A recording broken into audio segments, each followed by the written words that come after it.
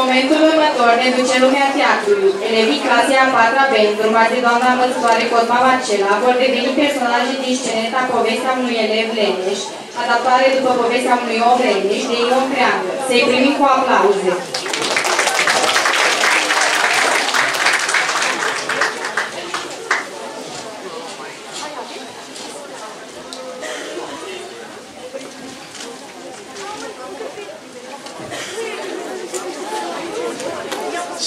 Era odată, undeva, nu știu să vă spun unde și nici nu cred că asta să aibă mare importanță. Cică era un băiat care nu era deloc dragă școala. Era atât de leneș încât nici găzanul nu și ducea singur. Văzând că nu se dă pe brazdă, colegii hotărât să mă sândească la școală pe viață, ca nu cumva să mă lipsească și pe unul dintre ei. Și așa să legnă câțiva elevi din clasă, se duc la banca trândarului, îl umplă pe să scape un bolovan fără minte și hai până la direcțiune. Așa procedează ei, elevi silitori și cu minți. Pe coridor se întâlnesc cu o doamnă profesoară cu suflet. Doamna, văzând o gădeață tăită de elevi, întreabă mirată. Ce faceți, dragi copii? Încotro! Se vede că elevul pe care îl duceți este bolnav, sărăcuțul. Îl duceți la cabinetul medical, nu-i așa? Dar de unde, doamna profesoară, să ierte prea bună dumneavoastră față?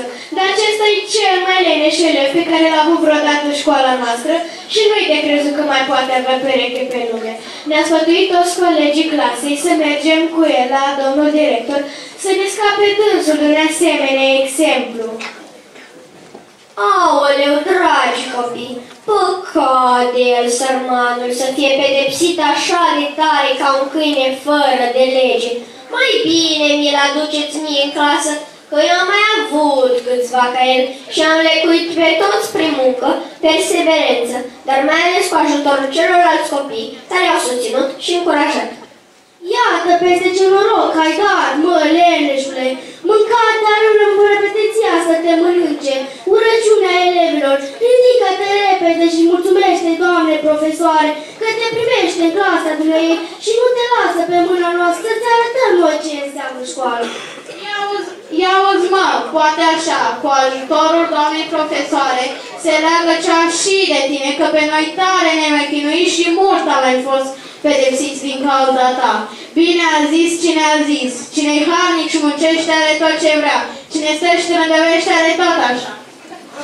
Hai, hai, dar pe doamne, că doar nu o să dea toată ziua după tine. Te prind? Da, la dumneavoastră în clasă îmi face cineva temere sau îmi învață în locul meu? Ce a zis? Întreabă dacă o să învețe cineva în locul lui și dacă o să facă cineva temere. Doamne, ferește-mă! Așa ceva n-am mai auzit, dar el nu poate să-și le facă singur. Auzi, leneșule, te prinzi să-ți faci temele singur, ori ba, te trebuie să te strădui a învăța? Ba, eu, dragii mei, la așa corvoadă nu mă informa. Vai, leneni, chiar nimeni nu mă poate înțelege că sufăr de boala lenii și degeaba am căutat șleacul că nu mi-l veți afla. Doamna profesoară, degeaba a încercat să stricați ordul pe gâște. Credeți că noi n-am încercat să-l aducem pe calea cea dreaptă și vrem să scăpăm de el, așa, fără luptă?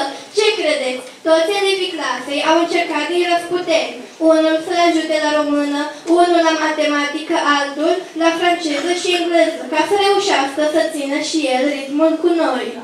Dar ce să vedeți, ne-am luptat cu morile de vânt, mai ceva ca Don Quixote cu morile de vânt. Doar lenei cu coană mare seamă pe lume nu are. Dragii mei, dacă e așa, ce să mai zic? Faceți voi cum credeți că este mai bine, atât pentru voi, cât și pentru el. Haideți la direcțiune cu el! Și l-au dus elevii cestitori pe leneș la director, punându speranța în acesta că îl va lecui de trândăvie. Și iată așa elevii clasei a patra au scăpat de oaia cea neagră, dar și elevul cel de elevii cestitori și cuminți mai poftească și alți elevi ca acesta în clasa noastră dacă le dorește inima și nu cunosc povestea. Și am încă legat pe așa și v-am spus povestea unora ce de le suferă și am încălecat pe o căpșună și ce v-am spus să nu credeți că e niciun